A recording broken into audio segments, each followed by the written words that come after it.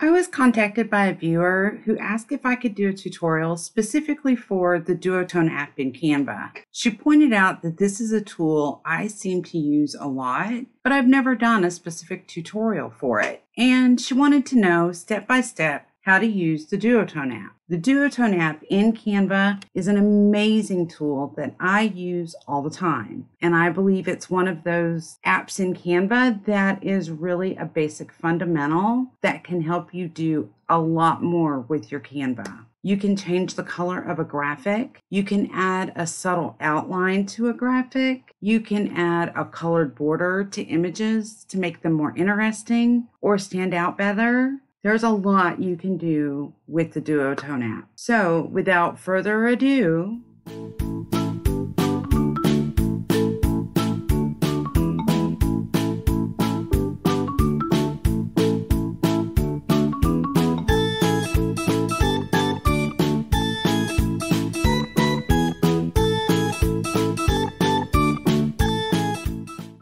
If you're completely brand new to using Canva, you'll want to watch this video, How to Use Canva Easy Tutorial for Beginners. That'll get you started and give you the basics of Canva. And I'll be sure to put a link in the description so you can find it easily. I've already opened my artboard and I'm using a wallpaper size so you can easily see everything. To show you the basics of the Duotone app to get started with, I've added this heart and you can see that it's a graphic that the color is set on it and it's not editable. If the colors in this graphic were editable, you would have different color boxes here at the top that you could change. But this is exactly where the Duotone app is super useful. You can make this any color you want it. So to get started, you would click on your element and you would go to edit image. And when the edit image menu opens, you can see that my Duotone app is listed here under the recently used. If I had not already added the Duotone app, you could find it one of two ways. So you could go to the home page and you could go to discover apps and click on this button. This page will open and then you'll find the Duotone under the popular section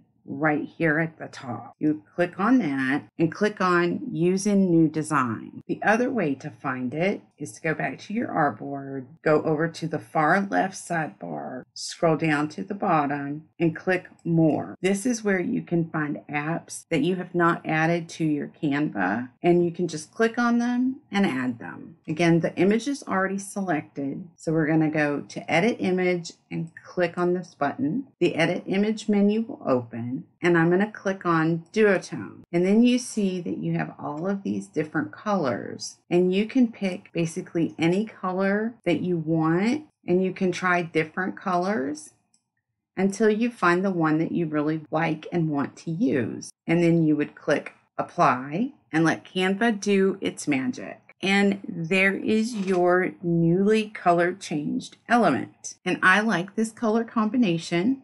But if I changed my mind and I decided I wanted to restore this to its original color, I would simply click on the element again and go to edit image. And right here, you have restore original. Just simply click on that and it restores it to its original colors. But with the duotone, you're not limited to just the color options that they have listed in the duotone app you can customize it even further. And since we've restored the element to its original setting, let me show you how you can easily customize this. The heart is still selected and we are still on the edit image menu. So I'm going to click on duotone again and I'm just going to pick this cherry color and then you see that you get the three little bars in the middle of that icon. Click on these three little bars and this menu will open and you'll see that you have the highlights with the color box and shadows with a color box. So first we're going to click on the highlights and it opens up the color menu and you can choose any of these colors, the default colors, your brand kit colors, or you can go to this button, which is add a new color, and this box will open and then you can slide this circle around this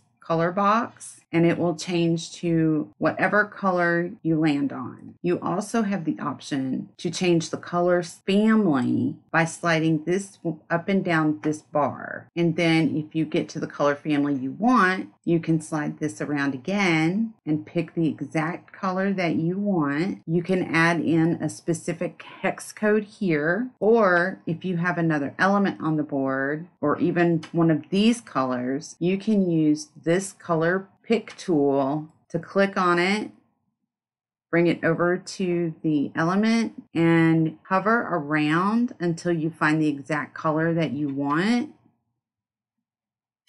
and select it. Now we'll go to the shadows and pick that color. So we'll click on that color box. And again, you can pick from any of these.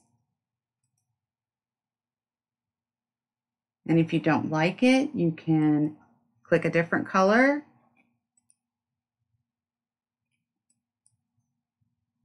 Or you could go to the add a color button, pick the color that you want to use, put in a hex code, or use the color pick tool for a specific color. This bar here changes the intensity. And what that means is that when you slide this up and down, the intensity of the duotone app will change. So if you go all the way down, there's no duotone color added to the element. And then as you go back up, it slowly works that color into the element. So you could, you know, slide it anywhere on that tool until you get exactly what you want and then click apply. Let Canva do its magic and now you have your edited graphic in the color scheme that you specifically want. Now if you decided you wanted to change it back to the original color, you can do that easily. Just go to this button here and click restore original and it will take it back directly to the color as if you've never applied the duotone app. And then if you wanted to go back and change the coloring again, click on the duotone, pick any color, go into the selection, change this color, and then change this color, and then click apply. And now you've changed the color on this graphic, not once, but twice. If you're finding this video helpful, please hit the like button, subscribe, and tap that notification bell so you'll be notified whenever a new tutorial is published. So now I'm going to show you how to add a border using the Duotone app. And I've selected a picture and I've already used the background remover tool on it. And so that you can see this more easily, I'm going to add the dark gray to the background. And what you'll do is you will hit Control D to duplicate, slide this one over to the side out of the way, click on this picture,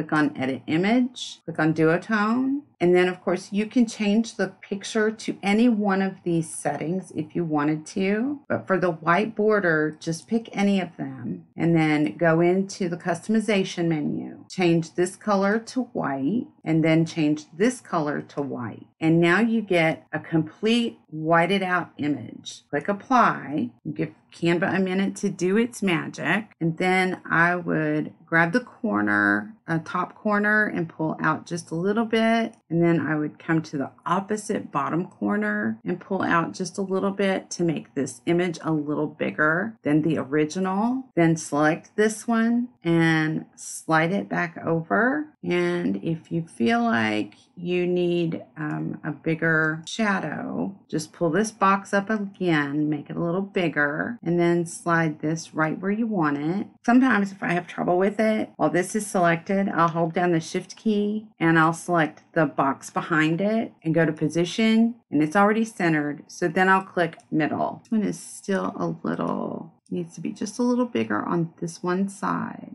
There we go. And now what I would do is I would group these together, select them both and group so that they are right together if I have to move it on the board or if I have to make it bigger. The white border and the picture stay the same. Now let's ungroup this and we will pull the picture off. And just so that you can see, let's go back to edit image, go back to duotone, and we will pick a different color. Let's go with this color. And now you can see that it has taken the white image and made it this pretty pastel green. And then you can slide this back over. And if it goes behind that image, just give it a second or right click and select bring forward or bring to front and then slide it over. And again, you can place it right where you want it. And if it's too big or too small in one specific spot, you can just resize it, pull in the sides where you want it,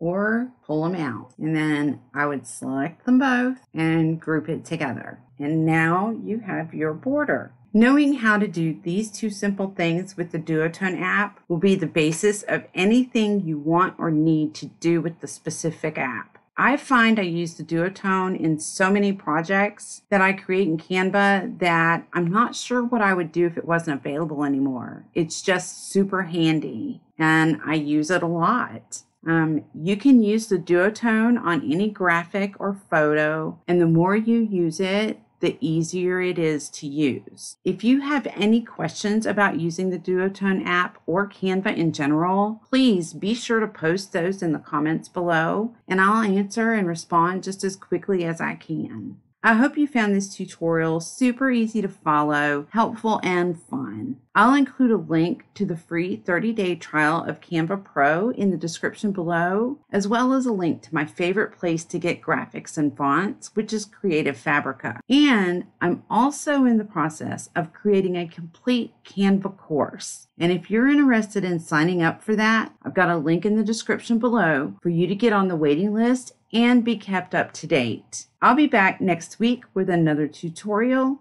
And until then, have a great week and enjoy your Canva.